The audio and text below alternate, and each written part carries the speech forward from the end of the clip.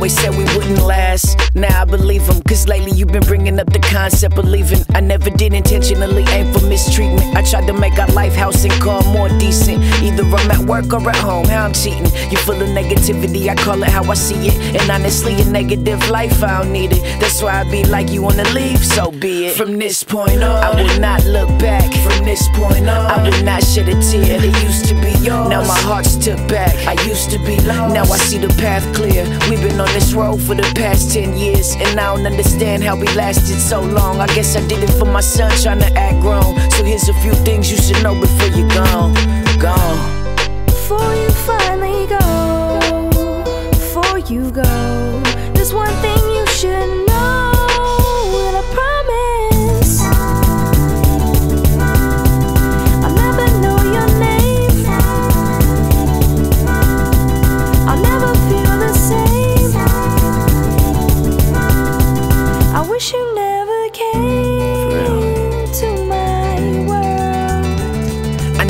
Someone to hold me down, not someone to hold me down. I'm not myself every time that you're around. Uh, Who you change me to? Will somebody tell Barack a time for changes through? Yeah, it's time to set the bag of bricks down. Uh, it's time to focus on Chris now.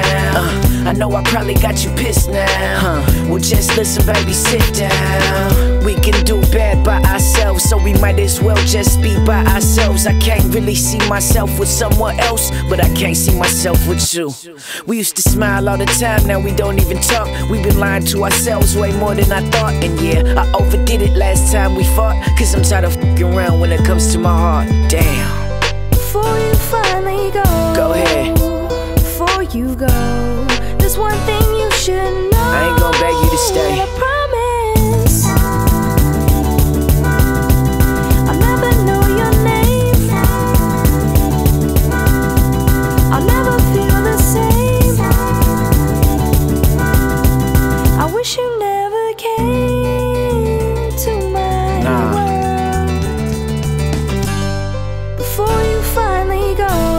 One more time, can we work it out? Can you forget all the shit I've been a jerk about? I know I never listened, I ain't never heard you out. Before you finally go. Give me one more chance, can we try again? I put that on my life, I will never lie again. I just wanna know, can I call you mine again?